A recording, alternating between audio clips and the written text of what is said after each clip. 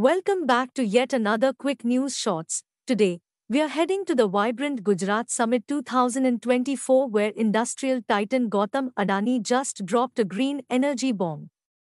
He's pledging a whopping 2 lakh rupees crore, that's $24 billion, to make Gujarat a global renewable energy leader. Let's unpack this mega commitment. Adani's green giant leap. Adani's speech wasn't just about numbers, it was about vision. He's planning the world's largest green energy park in Kutch, a 725 square kilometer behemoth generating 30 gigawatts of renewable energy. Talk about seeing it from space, he highlights from his speech, Green Gigawatt Giant, this park isn't just big, it's clean. Adani's commitment to renewables aligns with Prime Minister Modi's vision for a sustainable India.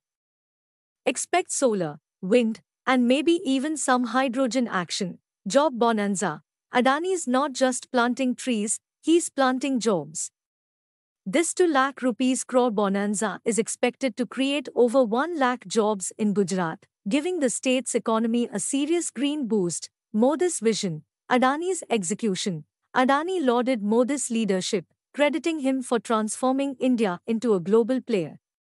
He sees himself as part of that transformation, taking Modi's vision and turning it into green megawatts, exceeding expectations. Adani is no stranger to keeping his promises. He acknowledged exceeding his previous 55,000 crore rupees investment commitment by 2025, already pouring over 50 rupees thousand crore and creating more than the promised 25. 000 jobs.